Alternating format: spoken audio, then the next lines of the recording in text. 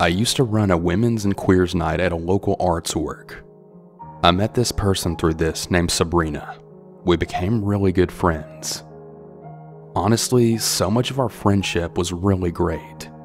We both really loved electronics and we really talked about it a lot. At the time, she had another very good friend. They were inseparable. At one point, she ends up moving in with this friend.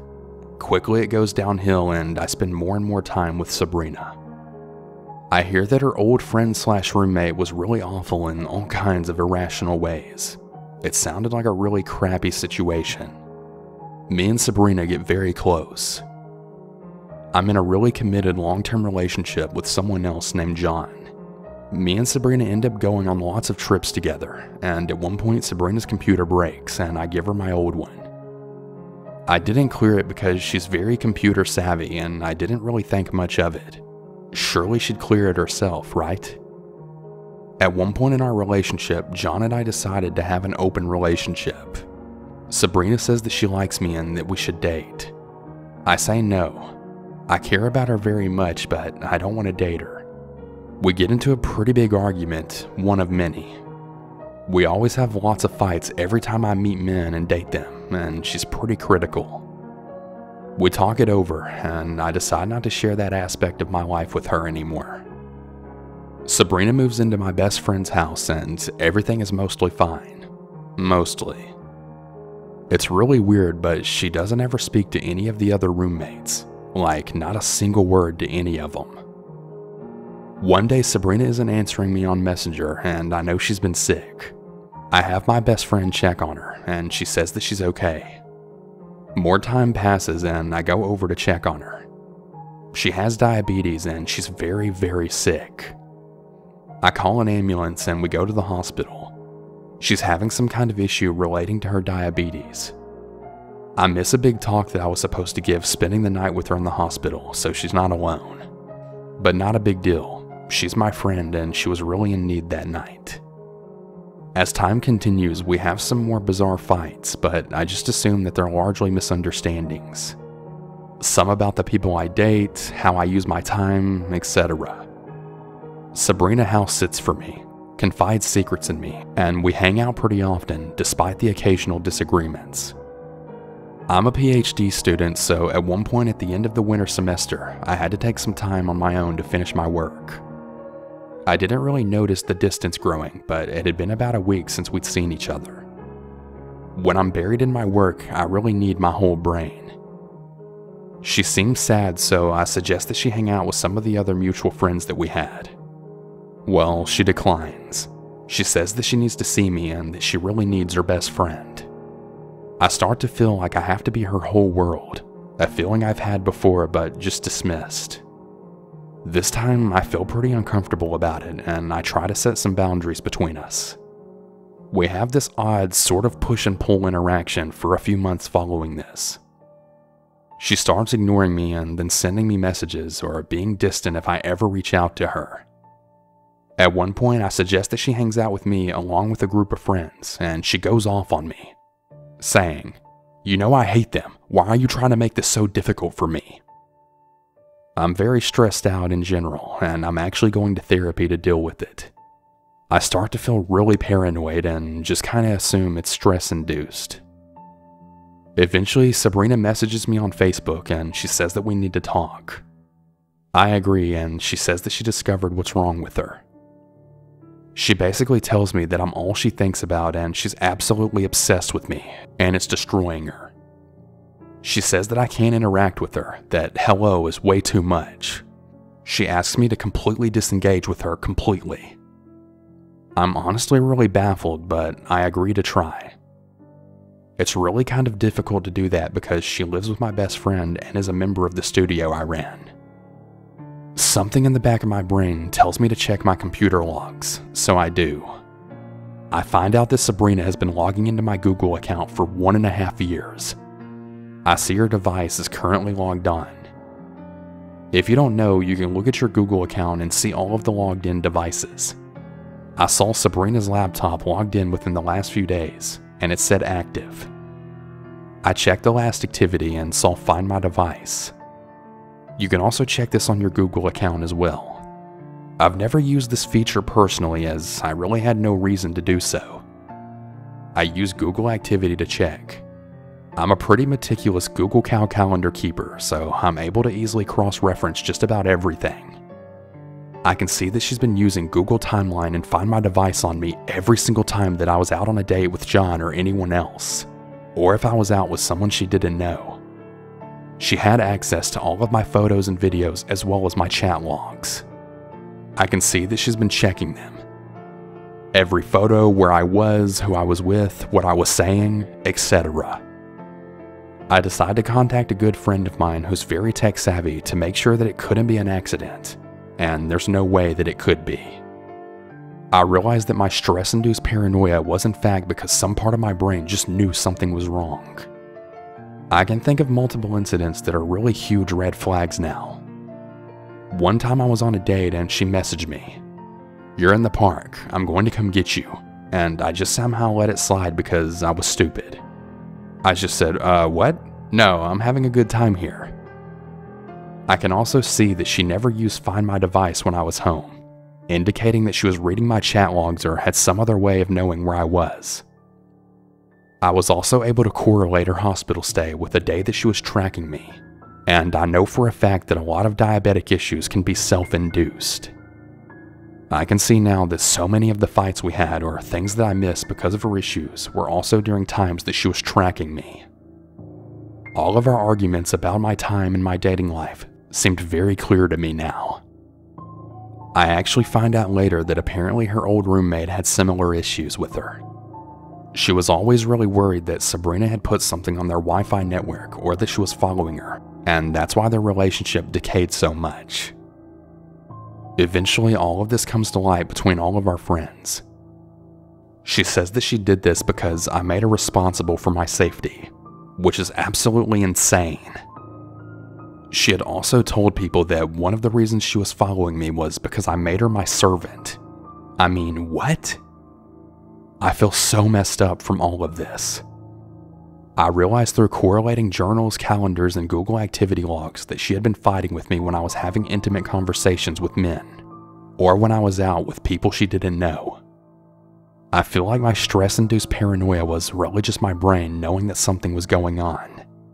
While most of her stalking me was while I was on dates, a lot of it was when I was just out with some of my old friends that she didn't know. For example, she used Find My Device when I was at medieval times with a childhood friend and didn't tell her.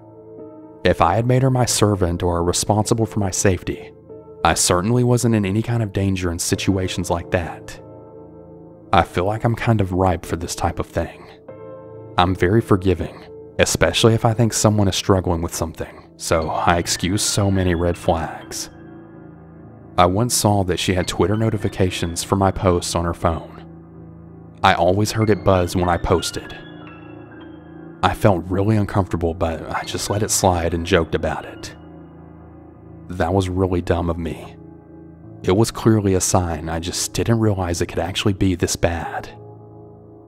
If you see a red flag or you feel paranoid, maybe check crap out. I don't know, I just wanted to get that off my chest. I'm also really glad that I'm a huge Google Calendar user, which let me build a case in order to prove that it was actually happening. I'm really grateful for that. And Sabrina, wherever you are and whatever you're up to, I really hope you get some help for your really concerning behavior. You really need it.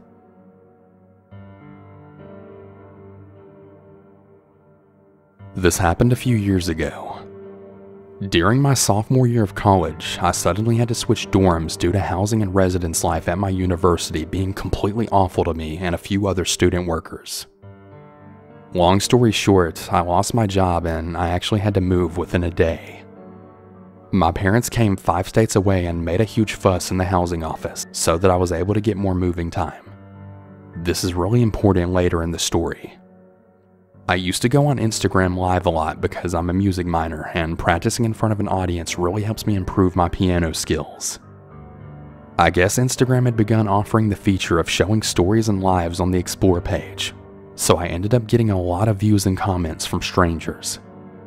Nothing too bad, It was usually just song requests that I couldn't fulfill because I had a strict repertoire from my piano professor or hard eyes from strangers. I used to really enjoy the lives until I got a comment from a man who knew exactly the location of my university. I never wore any kind of school attire during my lives or publicized my location on Instagram, so it made me a little nervous.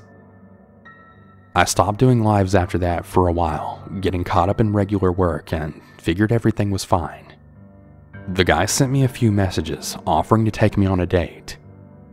A quick scan of his profile made it clear that he was at least 50 years old. He worked as a laborer for the city my university is located near. He asked me several times a day what buildings my classes were in, if I liked the cafeteria, etc., until I finally got scared and decided to block him.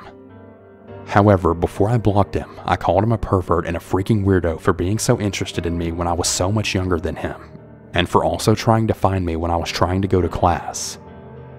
A few weeks later, after I had forgotten about his weird messages, I got a message from him saying something along the lines of, I waited for you in front of your old dorm for hours, but you never showed.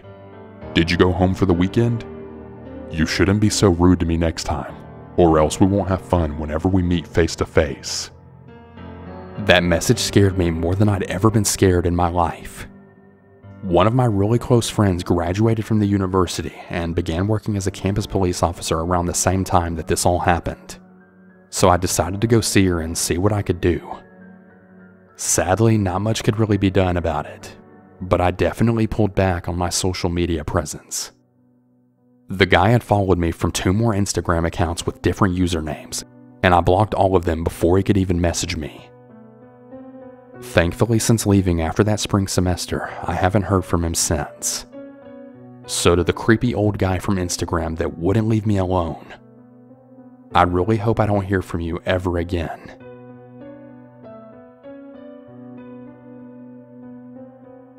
Before I get into this, yes, I know I was really dumb. I know that there were millions of times that I probably could have walked away but didn't. I was kind of stubborn and that often got me into bad situations online. For a little bit of context, at the time I was suffering from a few undiagnosed mental illnesses, with depression, anxiety, and light psychotic symptoms being a few of them. I also had a very tense childhood, so I had a lot of trouble making friends at school. That being said, I was a pretty lonely kid so I went and still go to the internet for friendship and attention. In 7th grade, I had a not so popular Tumblr blog. At the time, there was this movie that I really liked. It was a crappy action movie. The fan base for it was pretty small and I was super obsessed with it, so whenever I happened upon someone else who also liked it, I would always share their posts and DM them to discuss the movie. I met this guy who I'll call Tom this way. I DM'd him and immediately he struck me as strange. He typed in a very cheery way for a lack of a better term. He was also immediately very affectionate. It struck me as weird, but I knew that a lot of the people who posted about that movie on Tumblr were from different countries, so I figured it was probably just a language barrier. We talked on and off for the next few months. During this time, he had actually disclosed to me a few personal problems that he had. He said that he felt like no one liked him and that he was sad all the time, and he felt like the only person that was there for him was me. I never felt insanely responsible for other people's well being over the internet when I didn't really know them that well. So I basically just said something along the lines of, Oh, thank you. I'm really glad I can help. And I tried to recommend to him to go see a therapist. There were a few other things that caught me a bit off guard, like this one time where he sent me a link to a roleplay blog that he had made for some animal OC. For the record, I don't roleplay. I checked out the blog expecting some sort of joke, and then Tom proceeded to, in character, say how he wants to give me all of his love and that I'm really cute. I kind of played it off and didn't really think too much into it. I had tried to distance myself a little bit more because honestly, he was kind of a nuisance. It was beginning to become a chore to message him. One time he had called me some pet names like he usually did, and I went ahead and asked him how old he was. He said that he was 19.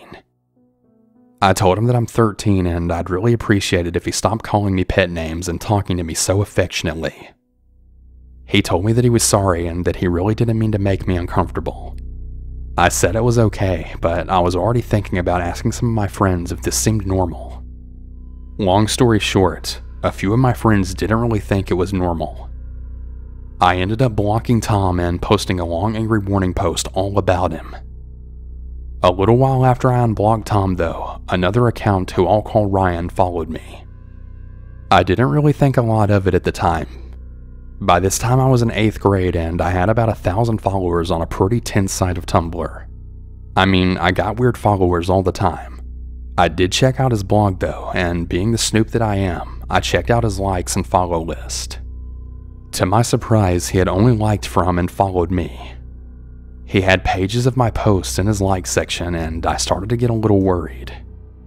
I sent him a message and then explained Hey, so this is probably nothing, but I'm a bit of a paranoid person. Can I ask you why you've only interacted with me on this site? I'm just curious. I remember his first response to this was, Don't worry about me. I'm a good boy. Which definitely set me off guard, but I still kept persisting. I tried to ask him if he maybe had a previous account or any other social media presence so I could just make sure that he wasn't a creep. He had gave short replies saying that stating his past account names gave him anxiety.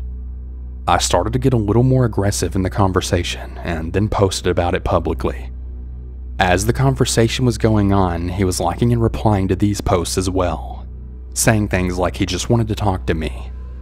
I really had enough, so I ended up blocking him and then writing him off as some internet illiterate weirdo. A couple of months later, my aunt died, it was a really rough time for me. I posted about it on my blog because that was really the only place that I feel like I could vent about it without being disrespectful, because I had been less than nice to my aunt in the recent years. Pretty much immediately after I was vocal about that, I started to get a lot of anonymous hate mail. It started out simple. It was loads of paragraphs about not liking my personality and how I was judgmental, which wasn't entirely wrong and there were a lot of people that I'd gotten in a drama with who had plenty of reason to hold a grudge against me. So I wrote it off and responded jokingly, saying something to the effect of screw off. It really wasn't a big deal at first. I really thought it was all jokes until the mail started getting more and more aggressive. At this point in the story, I should probably clarify that I'm a bisexual transgender man with some kind of neurodiversity. I started getting piles of mail calling me the F, T, and R slur. The comments had also got vaguely sexual as time went on, and this made me really nervous. Eventually, I stopped replying to these altogether, realizing that this really wasn't a joke anymore. I later got an ask that was extremely sexual. It was about a paragraph long and it detailed how the sender had some kind of fantasy of me essentially being the dominant in a DDLG relationship dressing up the sender and them calling me daddy. This ask sent me over the edge and I started to totally freak out about it. I ended up remaking my blog after I rigorously installed stat counters on all of my online accounts. I was really nervous, but I still wasn't aware of the gravity of the situation.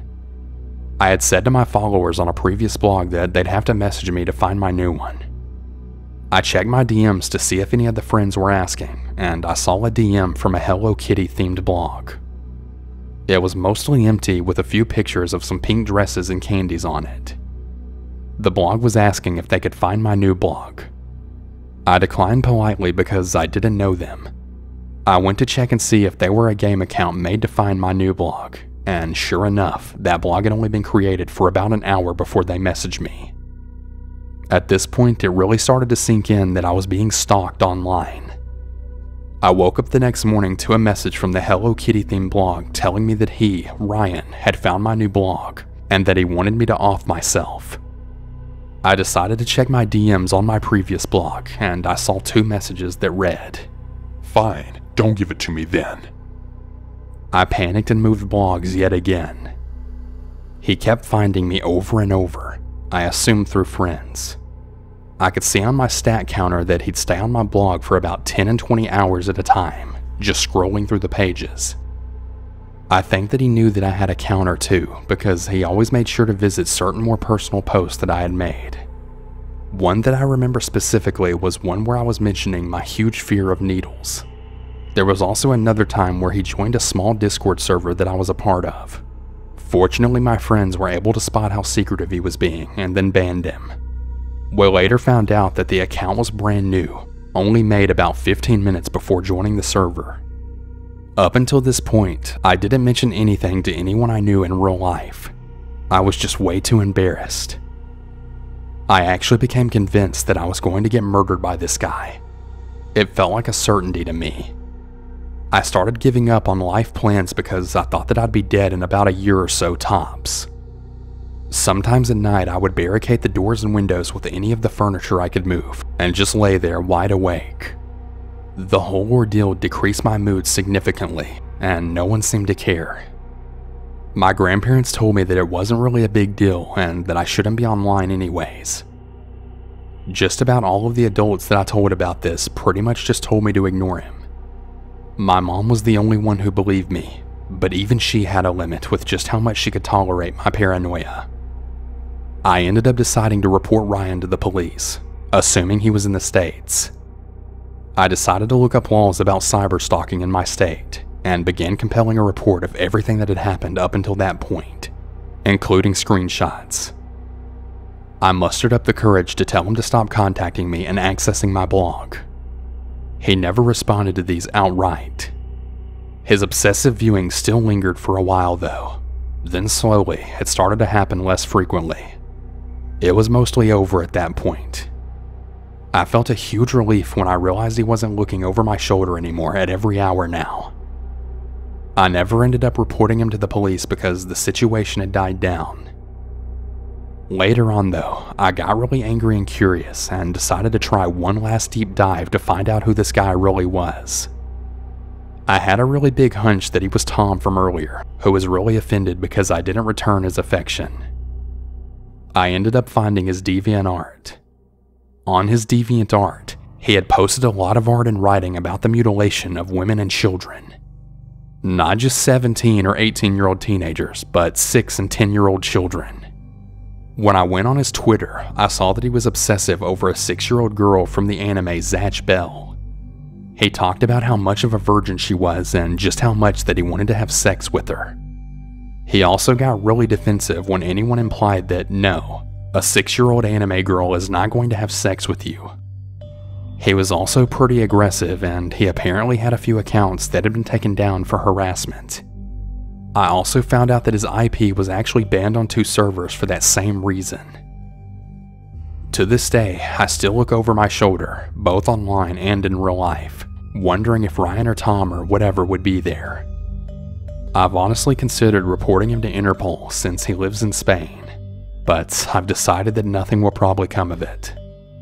So, Ryan or Tom or whoever you really are, I really hope that I never encounter you online ever again.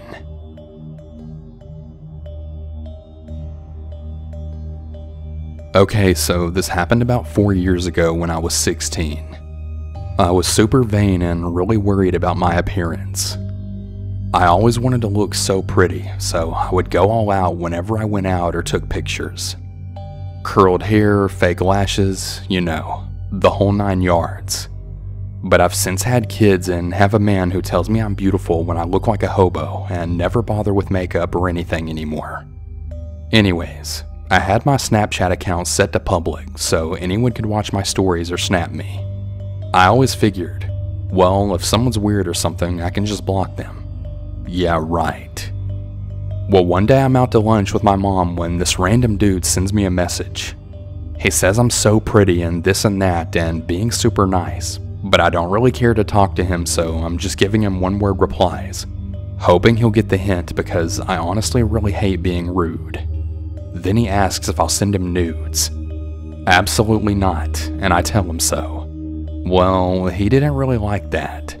He told me I was a hoe and that he hated women because they're all a bunch of sluts, and I'm just mad because no one likes me. Yeah, okay. I told him he was a psycho and then laughed at him, and he threatened to sue me for defamation. Yeah, right. So, anyways, I thought that was the end of it. Well, it wasn't. I block the dude and go about my day like normal when someone adds me on Snapchat. I looked at the user info and their snap score was a zero. Their username was also something really weird. They don't send me any snaps or anything, but continue to watch my stories every single day. Fast forward a few months, and this person snaps me. I was doing the same one word replies because I didn't really feel like talking. You'd really think that I'd learned the first time, but nope. He starts with the nice small talk, whatever, and then out of nowhere, he sends me a couple of different selfies of myself that were posted to my story months ago. He asks if I can print them out for him and gives me the sizes that he wants them in, and then he tells me he'll give me his address to send them to. Hold up, what? I immediately shut it down, then the unthinkable happens. The guy sends me a couple of pictures of myself actually framed in his house on his wall. Oh hell no. I told him off real good and then I blocked him. Not too long after that, I get another random account that adds me. Another weird username. I then remove it and change my account settings. He still has my user, so he adds me from a million different accounts, which I won't add back. They were all super weird usernames. I won't give the actual usernames, but on Snapchat you can choose a display name, and all these were pretty similar to the usernames.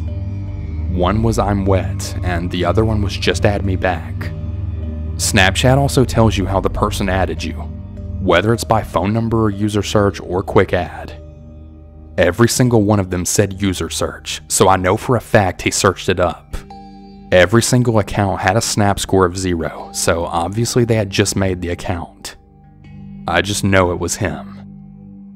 So to the weirdo creeper who keeps adding my Snapchat years later because I won't send him nudes, you really need to take a hint already. Just leave me alone.